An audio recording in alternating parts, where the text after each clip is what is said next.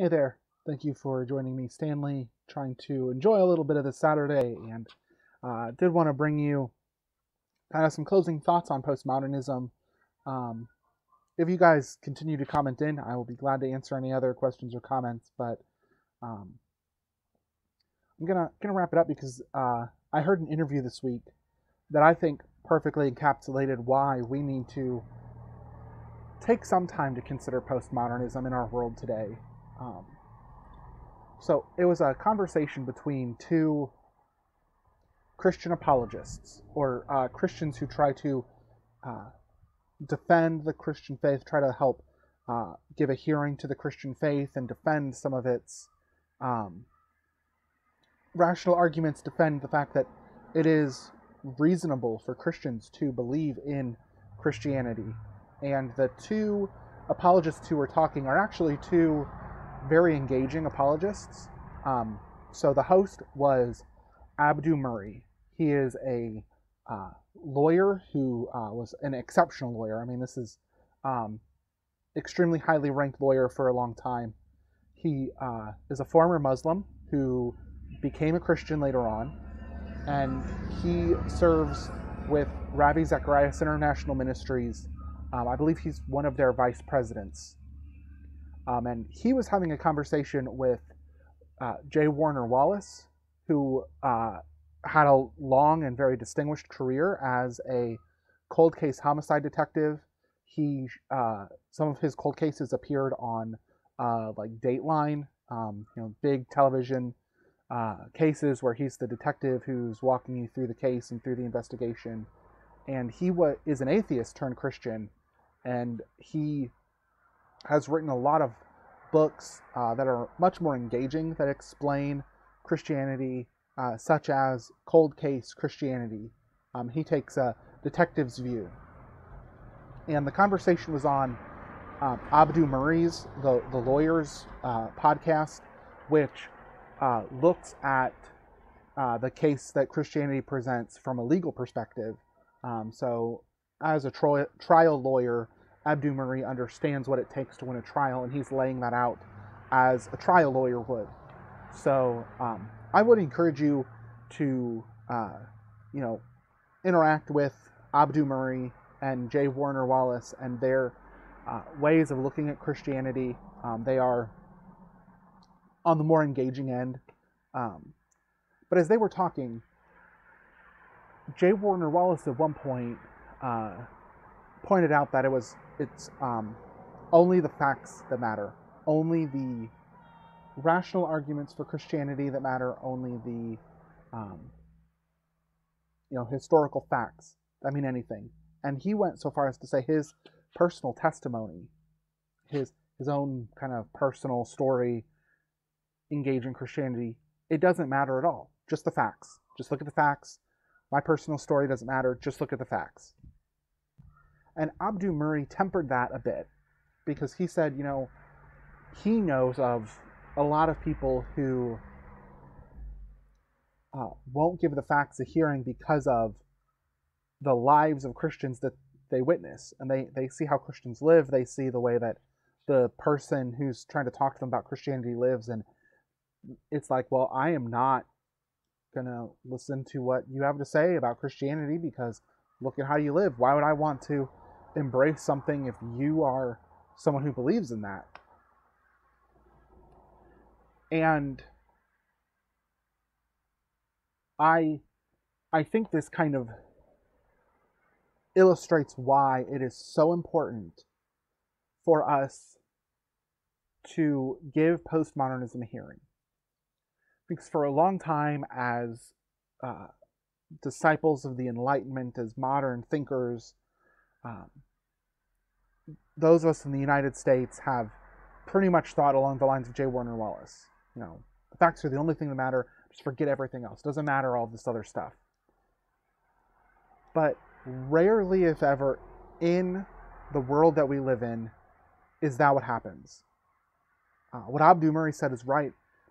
You could be great at arguing the facts, but you could live a duplicitous, immoral life and uh, if that's the case and you you argue for Christianity and then you live in a way completely antithetical to the Christian life, no one's going to want to hear you. And you could say all you want about, don't worry about my testimony, just look at the facts. But at the end of the day, they're going to hear your testimony. They're going to be thinking about your testimony and they're going to see that as among the facts.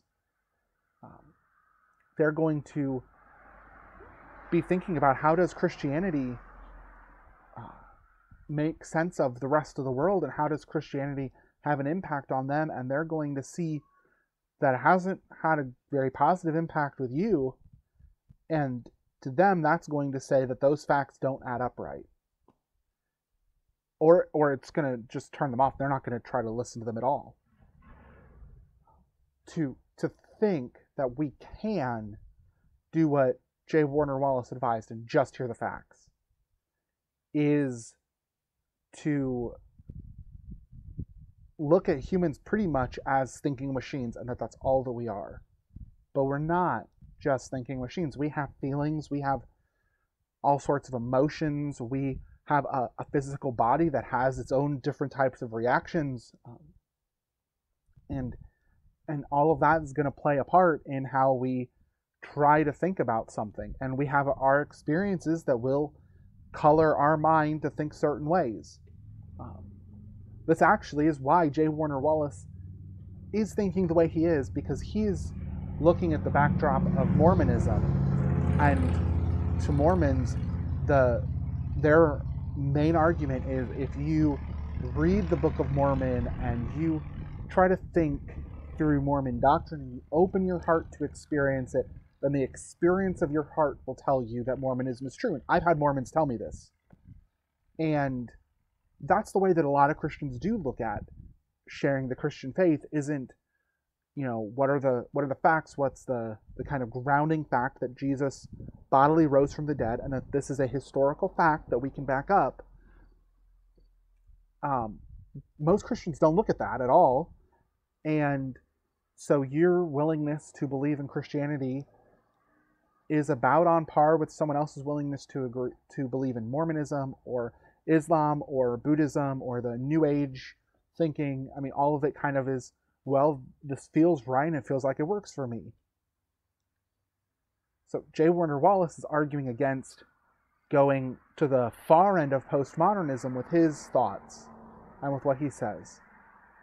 But I think for most of us, we aren't where J. Warner Wallace is, where we need to say, hey, we just need to look at the facts and we need to forget all that other stuff and just look at the facts. I think for most of us, we need that little bit of postmodernism that says, you know, in addition to the facts,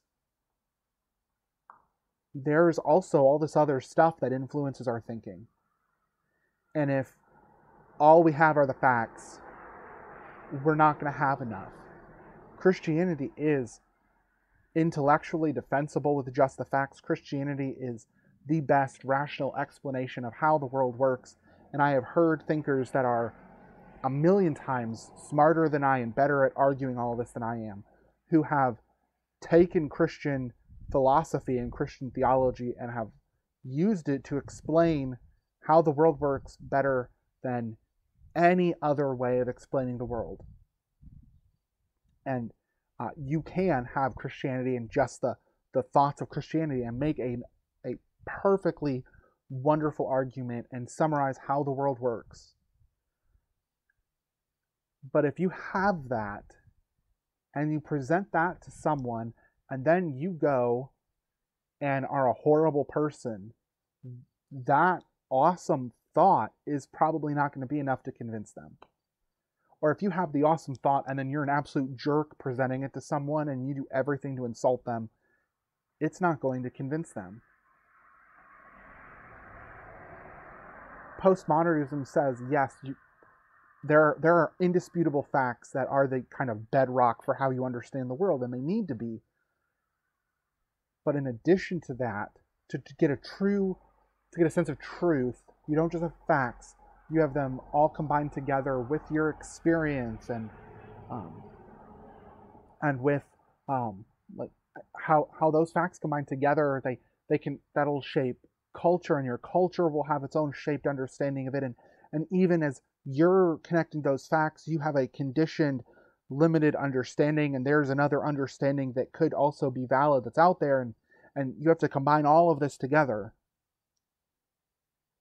And if we aren't careful we go to the extreme of it's just the facts completely forget about my behavior and your experience and dealing with all this other stuff that needs to be addressed or going to the extreme that J. Warner Wallace argues against where you're only going to talk about your experience. You're only going to talk about emotions and feelings, and and it, well, it feels true to me, and you don't actually deal with facts that are there. Um, so I, I thought this interview, um, I'll I'll try to provide a link to help get you to the interview that I'm talking about. I thought it did kind of very uh, appropriately illustrate why I think it was so important to bring up postmodernism. Um, so I hope that, I, I really hope that this has maybe helped you understand a bit more of how you think, maybe pushed a little bit on the way that you think and the way that you look at the world um, and how you look at truth. And I hope that with all of this, that it'll kind of encourage all of us to continue pursuing truth. Um, because I guess there was one other thing I have to say about postmodernism and truth that it kind of helps realize that truth is a bit of a journey. Um, and so uh, we, we need to be continuing to pursue truth um, in order to truly find it. Uh, so uh, God bless you guys. Again, if you have comments, please continue to comment on any of the postmodern videos and I will try to respond to comments as I see them. But I think this is going to be the last time I address postmodernism uh, for the time being. Thank you for joining me. God bless you. Bye.